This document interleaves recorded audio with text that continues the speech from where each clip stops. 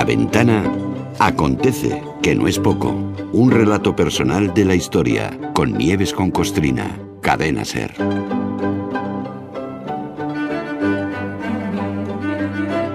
Hola Nieves, buenas tardes. Hola Carlas, ¿qué tal? ¿Cómo estás? Hoy repetimos un poco lo de ayer, ¿eh? porque hoy nuestro paseo diario por la historia parecería que nos mete de lleno en el mundo del cine, eh, lo que comentábamos ayer con Bollero, tú sabrás, lo, cual está muy bien, pero no solo eso, no exactamente, ¿no? porque lo que ha hecho el cine es reflejar, y, no una vez sino varias, un acontecimiento, una, movida de hace ya siglo y medio en el salvaje oeste, que se conoció como la fiebre del oro. ¿Cuándo empezó esa fiebre? Pues tal día como hoy, un 19 de enero de 1848. Sí, así es. Oye, es que el, cine se nutre constantemente de la historia, ¿no? es que bueno, es, es, un tiene gran parte del guion hecho, ¿no? Y efectivamente hoy toca hoy toca una película del oeste.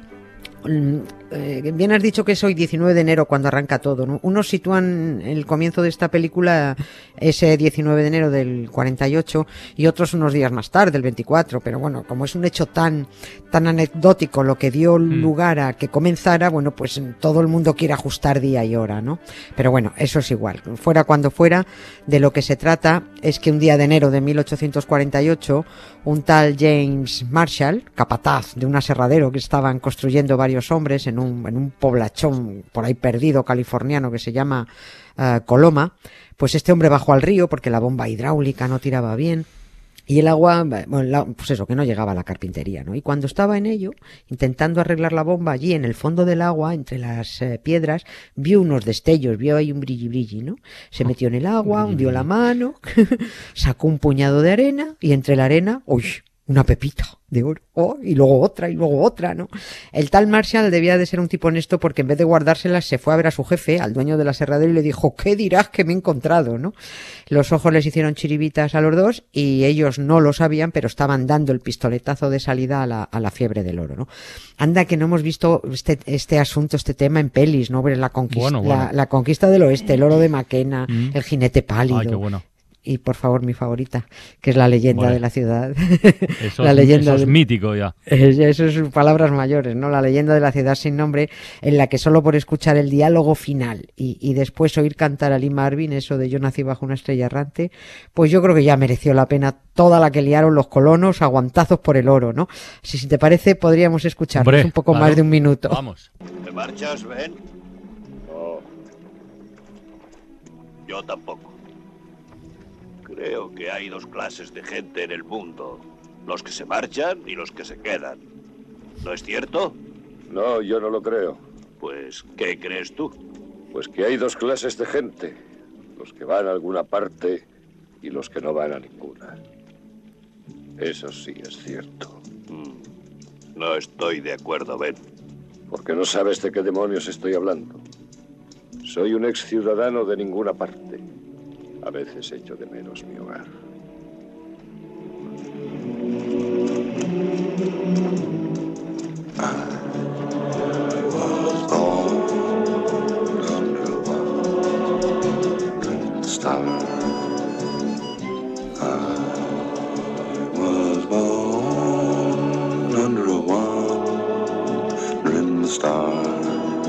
Hace Tom Waits, ¿verdad? Sí, sí, qué maravilla. Qué, qué maravilloso. por cierto, una película sobre los buscadores de oro pero que no se sabe muy bien si, si es un western, si es una comedia musical o, o, las dos, yo creo que las dos cosas, ¿no? Es muy, sí, es que es muy, es, muy, loca, es que empieza como si fuera todo, empieza como si fuera un, vulgar western y es que acabas, acaba en una comedia musical, ¿no? Además con un guion maravilloso. La conversación es fantástica, ¿eh? Sí, sí, pues, es que eso de soy un ex ciudadano de ninguna parte a veces echo de menos mi hogar. O sea, no puede ser más incongruente. Esto lo pilla nuestro filósofo y te hace un libro. sí, sí, sí. Pero vamos, a la voz de ya. Es genial, pero hay otro diálogo entre dos buscadores de oro que están escuchando los dos a un predicador hablando de la fornicación y le dice uno al otro, ¿qué es un fornicador? Y responde el colega, no lo sé, no soy hombre de religioso.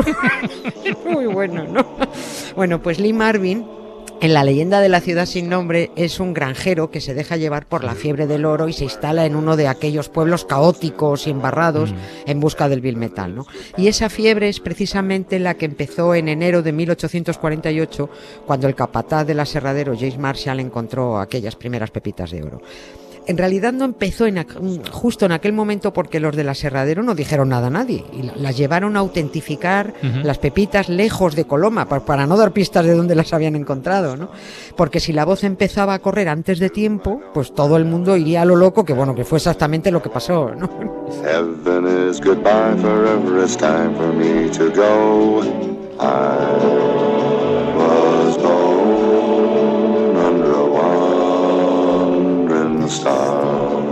Bueno, a ver, ese secreto tampoco se podía guardar, tampoco se podía guardar mucho tiempo, ¿no? No, no mucho. ¿Cuánto tardó en saberse?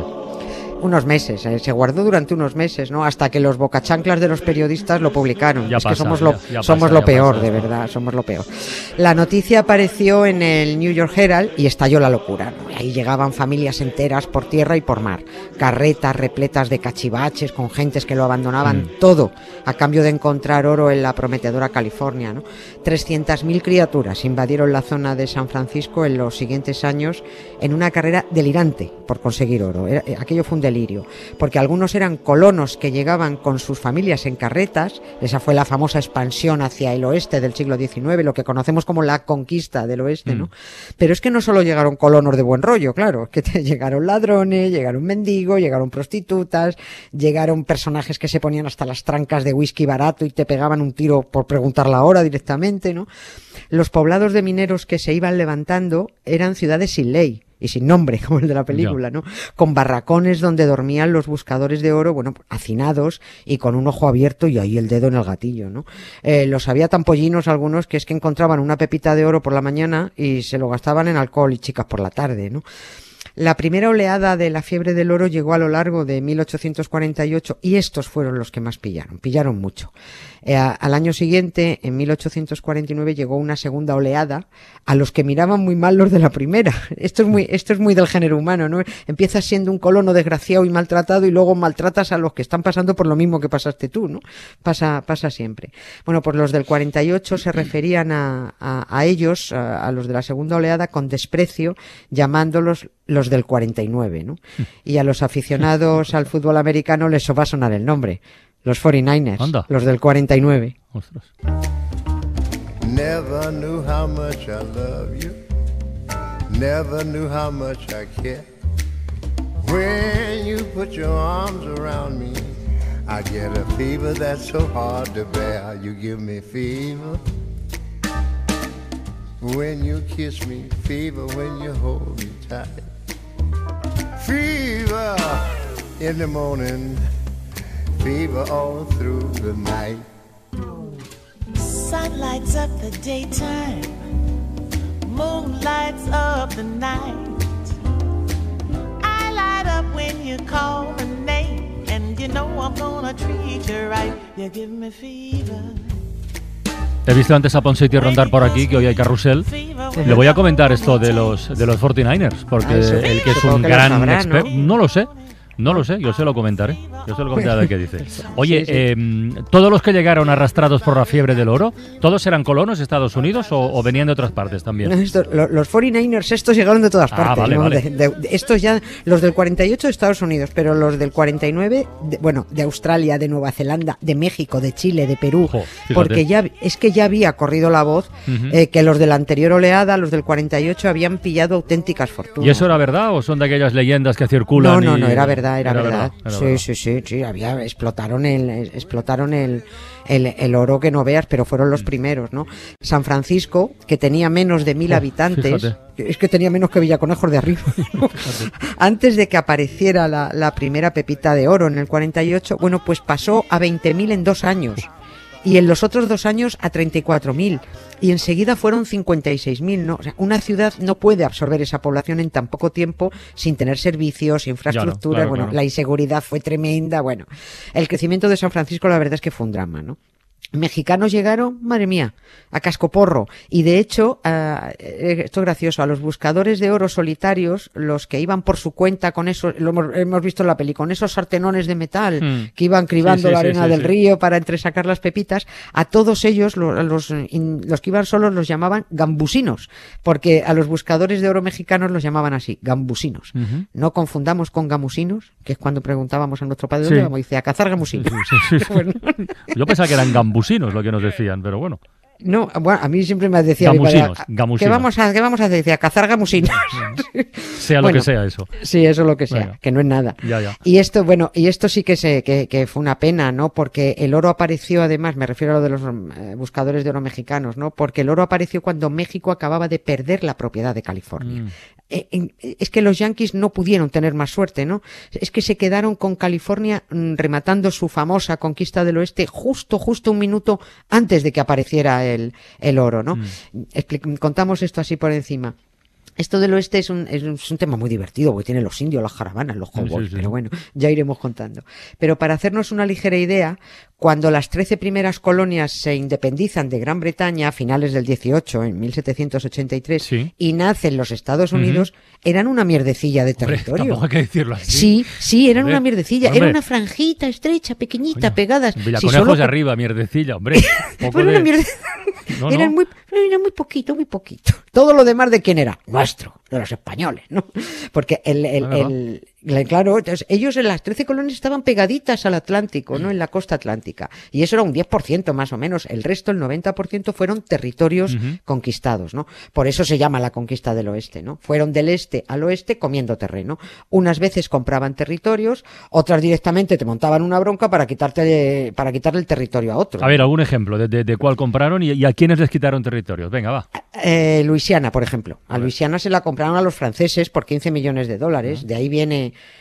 de ahí viene que Nueva Orleans, lo que los estadounidenses llaman New Orleans, en realidad se llamará la Nouvelle Orleans. Claro, pues, pues es una ciudad tan francesa, ¿no? Y sigue teniendo su barrio francés, porque el estado de Luisiana se llama, se llama así por, el, rey, de Francia, Luis XIV, claro. Como se quedó aquel territorio un franchute, pues dijo, pues mira, me quedo este territorio en nombre del rey Luis XIV y lo llamo como Luisiana. Al que, por cierto, a Luis XIV este le interesó un mojón aquello, la mierdecilla, el mojón. Pues, sí, aquello a, Luis XIV sacándole de sus pelucas y sus lazos, pues poco más le interesaba un territorio allí de los mares, ¿no? Alaska también lo compraron los yanquis a, los rusos mucho más adelante. Mm, el estado de ¿sí? ¿sí? el estado de Florida nos lo mangaron a nosotros, a los españoles, porque supieron cuándo, cuándo hacerlo. Cuando España estaba en su peor momento, con el mastuerzo de Fernando VII llevando al... Sí, claro, pero es que era él, todo lo ha hecho él, todo lo malo. Ese con el que hablarás un día hablaré un día, pero eso, eso tenemos que discutirlo, a ver, porque a ver, a ver quién ha ilustrado a este para tener una charla con él. bueno. bueno, pues sí, como sea la historia oficial, vamos de culo.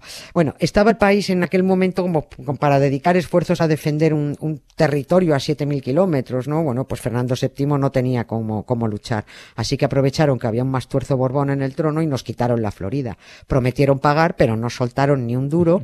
Y también prometieron que dejarían nuestros otros territorios del oeste tranquilitos. Eso era California, Nevada, Nuevo México, Utah y Wyoming. Pero claro, resulta que casi todos estos territorios pasaron a México cuando México se independizó de España. Y luego Estados Unidos le montó una guerra a México para quitarle todo, todo mm. ese territorio. Y se los quitaron justo a principios de 1848, cuando ya el tal Marshall había encontrado las primeras pepitas de oro en Coloma, California, pero no había dicho ni mu. A eso se le llama tener suerte.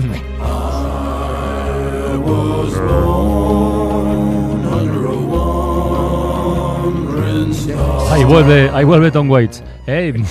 y con él cerramos hoy la ventana, porque ahora sigue la ventana en todas las emisoras de la SER. Pero nosotros no marchamos que hay carrusel. No te lo creas, pero hay fútbol hoy, otra vez.